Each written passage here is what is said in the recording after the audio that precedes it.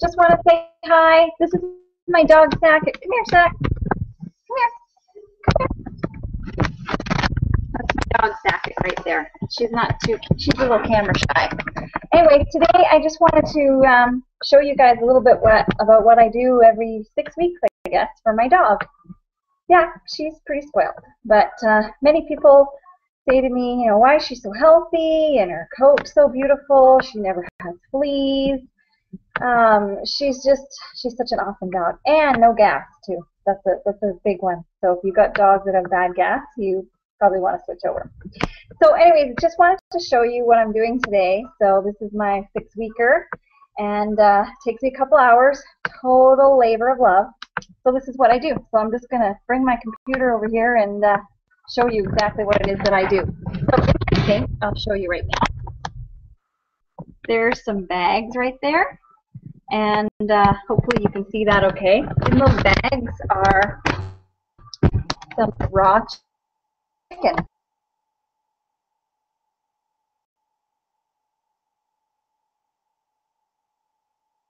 What it is, is it's uh, ground chicken. Someone in Nanaimo here in my hometown that uh, gets it for me. To pick it up every six weeks, like I said. So then the next thing I do, I, I defrost that in my sink overnight. And then over here is my, it is awesome. I splurged and spent quite a bit of money on my food processor because, you know, when I'm doing all the veggies and stuff like that for the dog, it's really important. So the, the chicken that I get is all ready to go. I just have to defrost it. It doesn't have to go through the food processor. So that's good news. So next, I'm going to take you over to show you what I've been working on already. So here we go. There is some eggs. They go in, including the shells. Then I've got a big bowl of carrots. I have some apples, and I have some broccoli, and I have some cauliflower. As you can see, it's all been pulverized in my food processor. There can be small pieces. It doesn't have to be you know, can be a little chunky. It's kind of good that way, actually. So then what I do is I take portions of that and I mix it with the um, ground chicken. So I'll show you right now what I mean by that. Here's the big bowl here. Hopefully you can see what's going on there. I've got it all mixed up, including, as you can see, the egg shells are in there as well. So I mix all that together, and then I have these baggies here. I'll just hold one up. So in the, each of these baggies, there's about maybe a cup and a half or so of uh, the mixture of ground chicken and all the vegetables. The vegetables do vary.